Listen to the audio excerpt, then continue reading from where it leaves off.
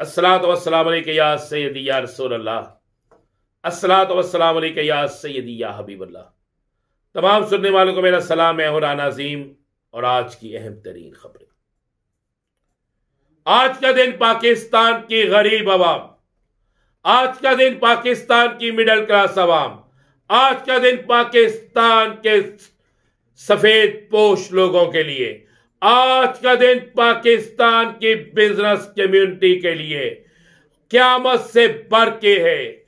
आज हकूमत ने अपने इकतदार को बचाने के लिए हकूमत ने पाकिस्तान के अवाम का सौदा कर दिया है।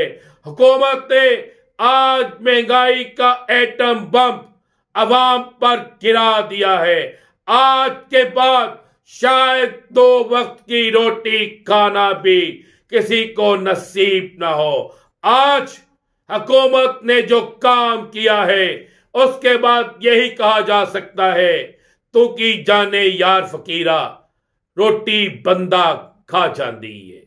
वाकई, अब इंसान रोटी नहीं खाएगा, रोटी इंसानों को खाएगी। यानी भूख, अफलास, बेरोजगारी और इस मुल्क की इकॉनमी तबाही की तरफ़ जाएगी। लोग रोटी के बगैर सिसक सिसक कर भूख से मरेंगे। बच्चे स्कूल जाना छोड़ देंगे। माए घरों में काम के साथ साथ कई घरों में काम करेंगी। मेडिसन नायाब हो जाएगी। चाय तक पीना मुमकिन नहीं रहेगा। लेकिन हुक्मरानों के घरों में, सियासतदानों के घरों में, रोज़ाना उसी तरह याशी होगी, उसी तरह महँगे पकवान पकेंगे बड़ी बड़ी टेबलें सजेंगी, उसी तरह पेट्रोल फ्री मिलेगा अरकान असम्बली को,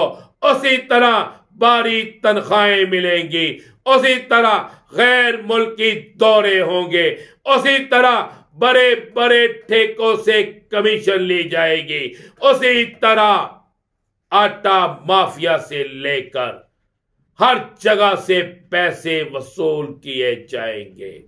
पाकिस्तान से बाहर बैंकों में रकमें मुंतकिल की जाएँगी। अपनी बड़ी बड़ी प्रॉपर्टियाँ बनाई जाएँगी। अवाम मरती है, मरने दो। पाकिस्तान की आवाम को भूखो मारने बेरोजगार करके मारने के मिशन को आज मोहर लगा दी गई है। आज इस मिशन को मुकम्मल कर दिया गया है और आज पाकिस्तान के खिलाफ होने वाली तमाम गैर मुल्की साजिशों के मुकाबले में बड़ी साजिश खुद पाकिस्तान की हुकूमत ने कर दी है। मेरी बजट नहीं, बल्कि बड़ा एटम बम महँगाई का पाकिस्तानी अवाम पर गहरा दिया गया है।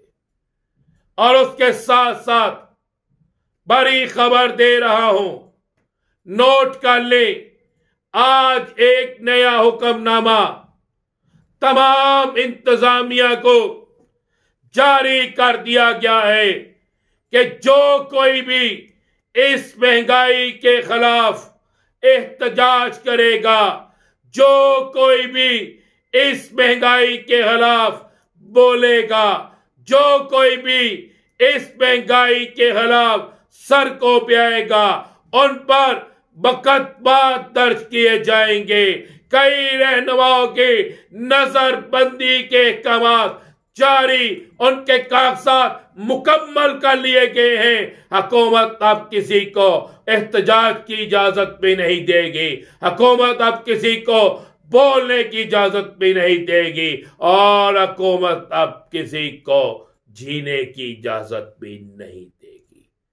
आज का दिन पाकिस्तानी कौम के लिए, आज का दिन गरीब आवाम के लिए ना सिर्फ़ एक बदतरीन दिन है, बल्कि आज पाकिस्तान के अंदर भूख का नंगा नाच होगा।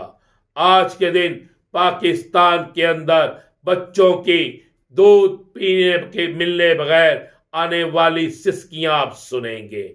आज पाकिस्तान के अंदर वो हालात पैदा होने शुरू हो जाएँगे कि जो बची कची इंडस्ट्री है, वो भी तबाही के दहाने पर चली जाएगी। एक, आपको बड़ी सियासी खबर देता चलो। बड़ी सियासी खबर यह है, इस बजट के पेश करने से पहले इस्लामाबाद में एक इजलास होता है।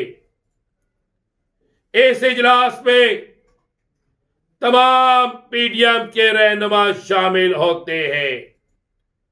इस इजलास में कुछ अहम शख्सियात भी शामिल होती है। फिर उन शख्सियात से ये वादा लिया जाता है, इस खबर को गौर से सुनिएगा। फिर उन शख्सियात से ये वादा लिया जाता है, जिसमें दो गैर मुल्की सफीर भी शामिल हैं।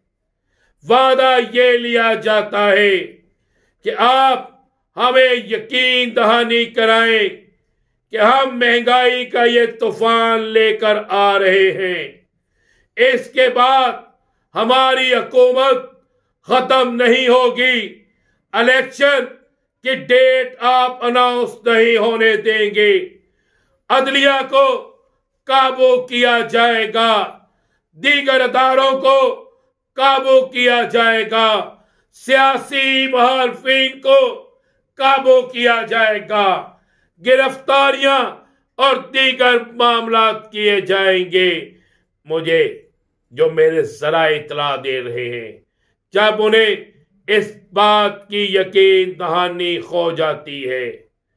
तो उस यकीन दहानी के बाद बाकायदा फिर एक मीटिंग होती है और उस मीटिंग के बाद फैसला हो जाता है कि अब हमें इकतदार के मज़े लूटने का टाइम भी मिल गया।